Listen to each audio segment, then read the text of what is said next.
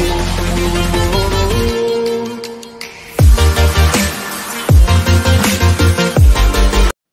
guys welcome to another part of web designing course तो guys आज की इस पार्ट में हम लोग सीखेंगे डीआईव के बारे में। तो बेसिकली डीव होता है क्या और डीव कहाँ यूज़ करेंगे, कैसे यूज़ करेंगे, उसके बारे में हम लोग आज सीखेंगे ओके तो बेसिकली यहाँ पे मैंने ऐड की है बेसिक स्ट्रक्चर मैंने बना ली है और उसके साथ हम लोग का जो सीएसएस फ़ाइल को यहाँ पे ऐड की है और कुछ नहीं की है हमें। तो अब लोग अभी हम लोग क्या करेंगे? ये डीएफ के बारे में जानेंगे ओके बेसिकली मैं आपको बता दूँ, ये जो डीव के बारे में बता दूँ डीव की फुल फॉर्म होती है डिवीज़न ओके तो ये जो डिवीज़न होती है ना, ये 95 टू 96 परसेंट वेबसाइट डिज़ाइनिंग के लिए यूज़ करा जाता है एच कोडिंग में इसे यूज़ करा जाता है ओके ये बहुत जगह यूज़ होती है जो कि वेबसाइट को एक अच्छी लुक देने के लिए और बहुत सारे चीज़ के लिए इसे यूज़ भी करा जाता है। ओके तो आज हम लोग जो भी सीखेंगे, आज से जो भी पार्ट हम लोग की होगा, जो तीन चार पार्ट होगा, ये डिवीज़न के बारे में होगा मतलब डिव के बारे में होगा, उसे ध्यान से देखियो देखियो, क्योंकि ये जो पार्ट रहेगी, ये आपके लिए मोस्ट इम्पोर्टेंट रहेगी रहेगी ओके क्योंकि ये पार्ट आपको बहुत ज़्यादा हेल्पफुल करने वाला है ओके तो अभी हम लोग यहाँ पे बॉडी में मेंशन करेंगे यहाँ पे तो आप लोगों को पता है कुछ भी आउटपुट नहीं मिलेगी क्योंकि हम लोगों ने बॉडी के अंदर कुछ अभी मेंशन की नहीं है। तो हम, अभी हम लोग क्या करेंगे, इस बॉडी के अंदर ऐड करेंगे डीव ओके क्योंकि हम लोग डीव क्लास आज कर रही है ओके तो डीव हम लोग यूज़ करेंगे। तो इसके लिए हम लोग सी एस एस हम लोग दो चीज़ ऐड करेंगे अभी। डिव दो डिव यूज़ कर रहे हैं हम लोग। H T M L okay मैंने ये दोनों को लिखा और सेव करा और उसका आउटपुट आप देखो। यहाँ पे मैंने जो सी एस एस क्लास और H T M L class लिखी थी, वो यहाँ पे आपको दिख रहा होगा। ओके ये ऊपर नीचे होके दिख रहा होगा। ओके तो अभी हम लोग को क्या कर, करना है ना? उसे कलर करना है और बहुत सारी चीज़ हम लोग को करना पड़ेगा ओके तो उसके लिए हम लोग अभी क्या करेंगे? डिव के अंदर चलेंगे। स्पेस देते हैं हम लोग। स्टाइल बैकग्राउंड कलर तो बैकग्राउंड कलर हम लोग अभी देते हैं। इसे दे देते हैं ओके और इसमें भी हम लोग वही सेम चीज़ यूज़ करेंगे। क्या? स्टाइल बैकग्राउंड कलर और बैकग्राउंड कलर में हम लोग यूज़ करेंगे ये। इसे यूज़ कर लेते हैं ओके ये मैंने सेव किया और उसका आउटपुट आप देखो। यहाँ पे आपको ऊपर नीचे हो दिख रहा होगा, उसके कॉलर हम लोग हम लोगों ने कर दी है ओके ये दो चीज़ हमने ऐड की है सी एस एस क्लास और H T M L class करके, और ये जो कॉलर है ऊपर नीचे ओके रखी हुई है। तो अभी हम लोग क्या करेंगे ना? उसकी हाइट मेंशन करेंगे, उसकी उर्थ मेंशन करेंगे, ये सब चीज़ें हम लोग मेंशन करेंगे। तो उसके लिए हम लोग यहाँ पे स्पेस देंगे और हाइट हाइट हाइट कितना रहेगा हमारा? मान लो हम लोग हाइट देते हैं 200 ओके और उसकी उर्थ जो होगा विड्थ हम लोगों ने अभी रखेंगे। 300 ओके वही सेम चीज़।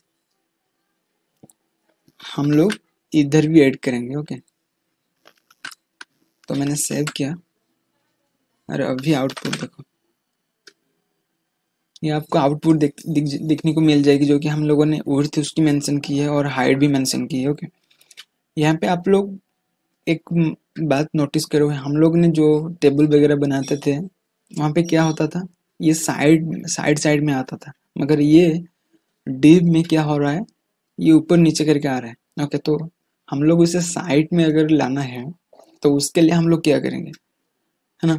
तो उसके लिए हम लोग यहाँ पे मेंशन करेंगे अभी फ्लोट, ओके, लेफ़्ट। हम लोगों ने फ्लोट यूज़ की है। और कहाँ पे हम लोग रखना चाहते हैं? लेफ़्ट में, ओके। यहाँ पे भी हम लोग वही सेम चीज़ यूज़ करेंगे। फ्लोट अगर यहाँ पे लेफ़्ट ही है, अगर हम लोग यहाँ पे राइट करना चाहेंगे तो क्या होगा? पहले हम लोग लेफ़्ट देखते हैं ओके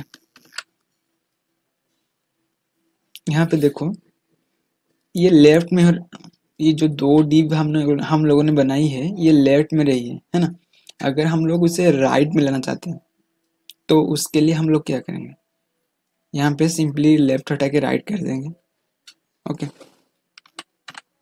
यहाँ पे मैंने राइट लिखा सेव करा। और अब देखो, ये यहाँ पे लेफ़्ट में था। हम कौन सी कलर को मतलब ये दो दो नंबर की लाइन को हम लोगों ने क्या किया? लेफ़्ट में ऐड किया। तो इसीलिए यहाँ पे लेफ़्ट में वो दिख रहा है। तो इस तरह आप जो भी डिज़ाइनिंग करना चाहो, अगर आप लेफ़्ट में रखना चाहो राइट में रखना चाहो, इस तरह से आप कर सकते हो वेरी इजीली ओके अभी हम लोग क्या करेंगे उसे? लेफ़्ट में रखेंगे ओके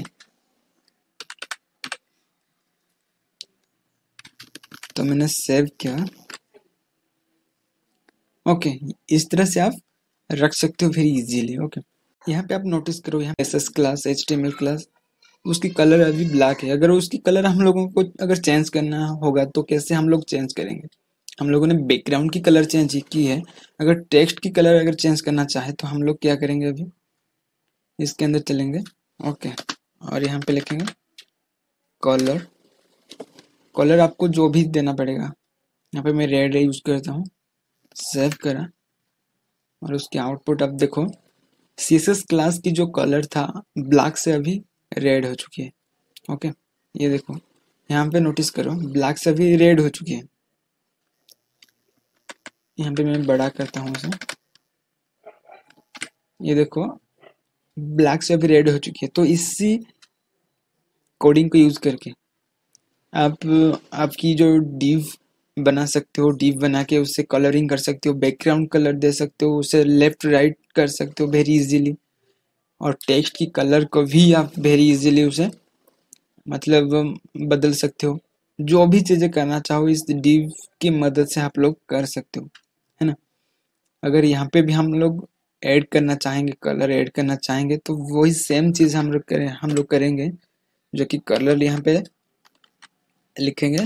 और जो भी कलर आप देना चाहो ग्रीन येलो मैंने ऐड किया, और उसे सेव किया मैंने, और ऑल्ट एल वो मैंने आपको बताया था, उसका शॉर्टकट की बताया था।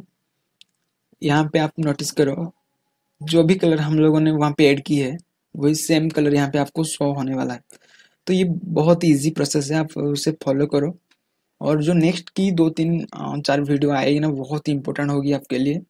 उसके बारे में, ये जो डीप के बारे में हम लोग और भी बहुत सारी नॉलेज हम लोग गेन करेंगे।